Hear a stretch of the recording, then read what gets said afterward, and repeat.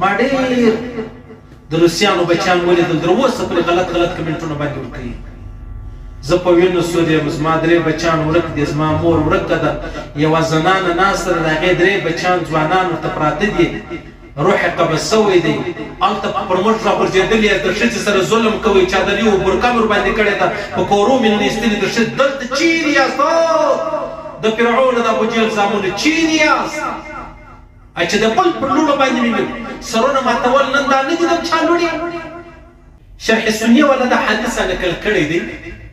وای الله رب العزت درو کسانو ته چې وګوري الله خان الله ور باندې خان و څرکم خان دی چې څنګه د الله سره شای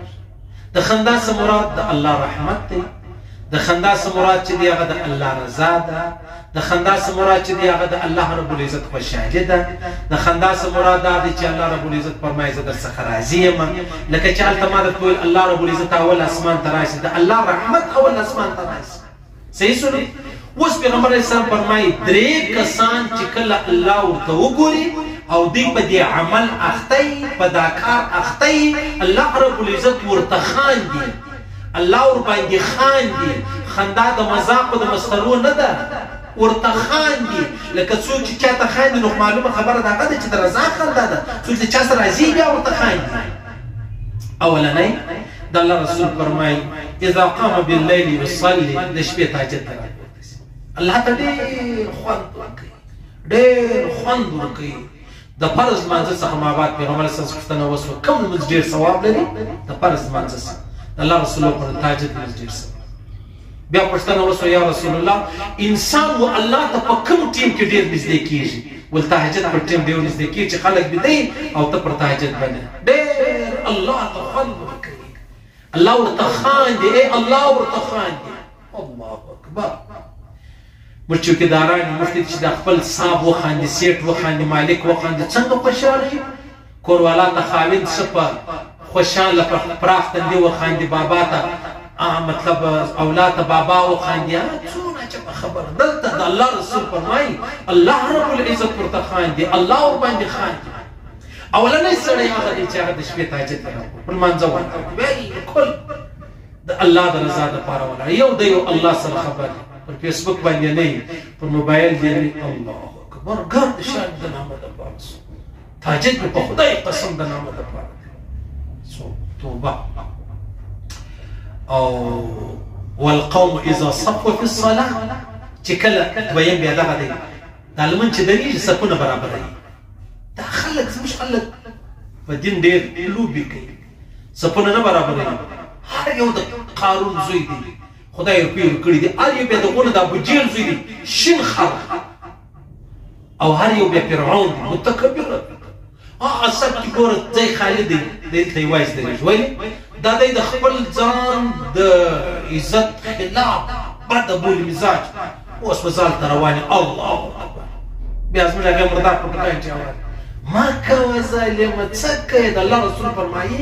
تر ټولو عظیم ترین قدمونه چې الله ډېر اجرونه ورکوي د یوه سپه سه بل سپ له تلل دي ته په دې سپ کې ولاړ هغه سپ خالي سو ورسه به سپ نه ورسه عظیم ترین ثوابونه الله په دې کې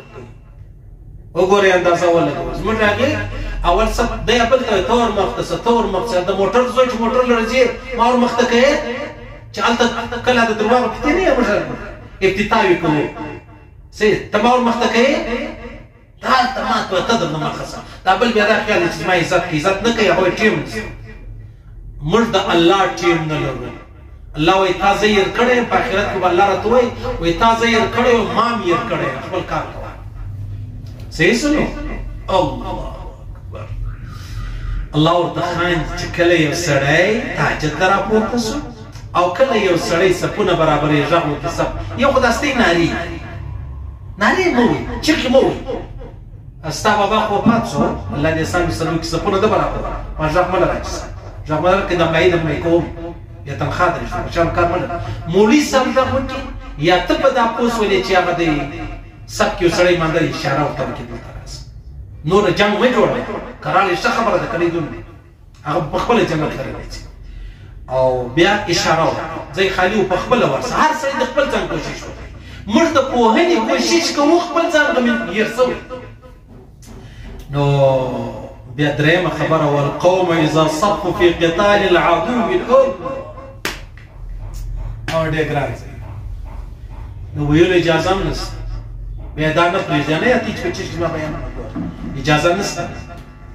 بالکل اجازه نشته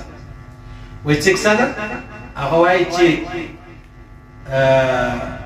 دا دا د خبرې بندې دي بالکل مې نور نو درېمه خبره چې ده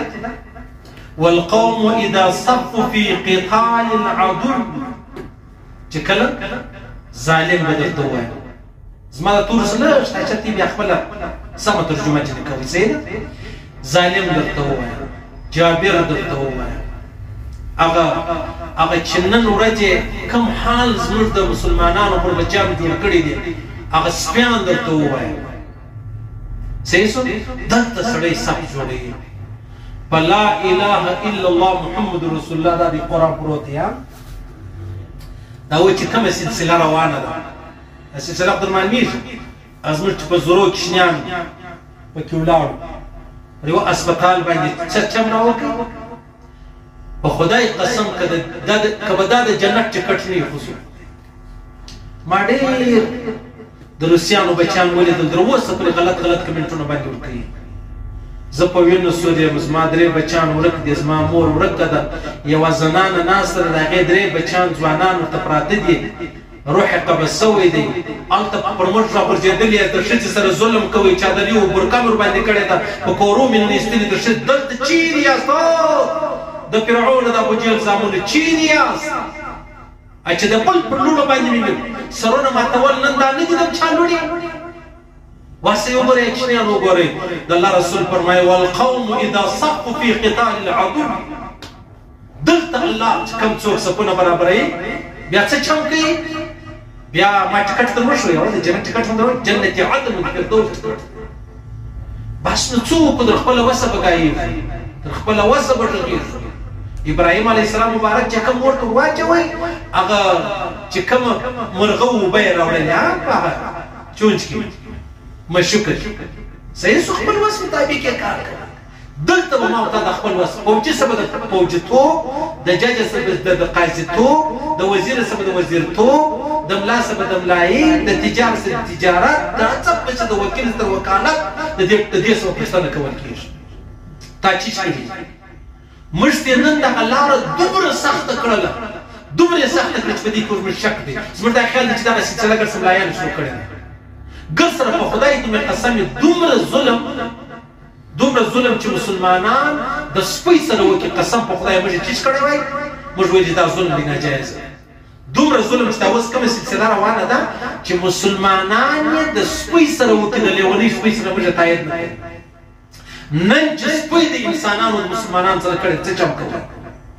مکه و ایمانونه بچاو کوي د خدای د پاره ایمانونه بچاو کوي د د شوت رقم به ایمانونه بچاو کوي چې خدای بس ما ما چې په امان لره څنګه خبره ده بس یا کشتي کشتي بچان خو وګورئ یا په وینو سره وګورئ د چا د کال بچی د چا د دوته وګورئ دا خپل خیرن بچان پرسي په کورو کې لرو چې دا دلته درته پروت چا وشتلې لور دې الته پرته مور دې الته پرته پلار دې الته پروت کور دې را نړېدلې څه چم کې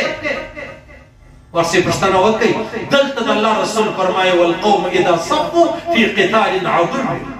دلته الله رب العزت ورته خالي څوک صفونه برابروي لږ تشه ټیم موږ الله ته ورکوو الله فرمایي ما ته ټیم راکړي ما کار سره دي خالي ورته ګوري دې سلسله ته د احسان سلسله ولا کشرو سوې ده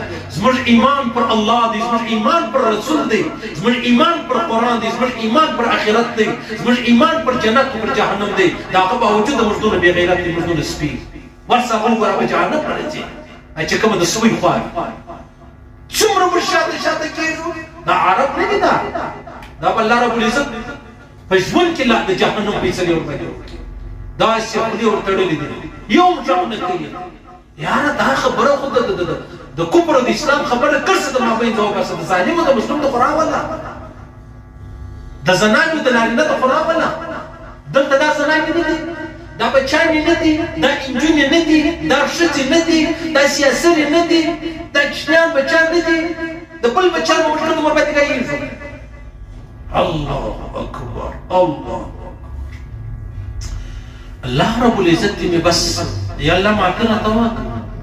یا الله یا الله د اسلام په سپوی کې مې شمار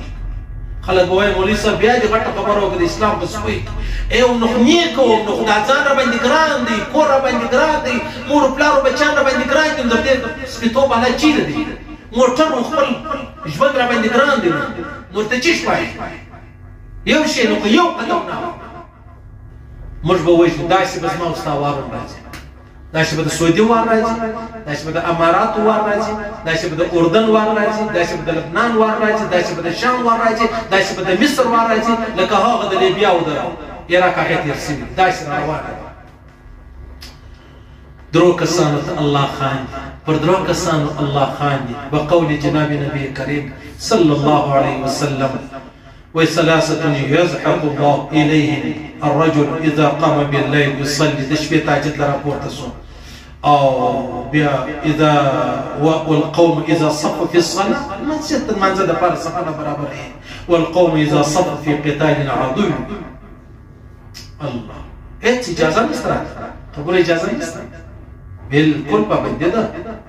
چې کوم مایز یو بیان لږ دو درس تستی را لیر کوله صحیح ده ټیک ده چې ریموټ د چا په لاس کې بیا نو بل شي چې شي الله رب العزت یې مرسته وکړي الله دې هغه د بدر چې کومې فرشتې مخ راوله یا الله ته قادر ذات نور امتحان په موږ مکوه یا الله موږ پیل یو موږ ذلیل یو الله په دې امتحان کې موږ تباه او شرمنده او رسوا یو نور مې مه رسوا کوه یا الله که عرب دې که عجم دې یا الله راته خپله پرده راوسته یا الله ډېر ډېر ستړي کړو ډېر اکشني په داکشني بچیانو په خاطر یا الله د ازنانو په خاطر یا الله مدد راوسته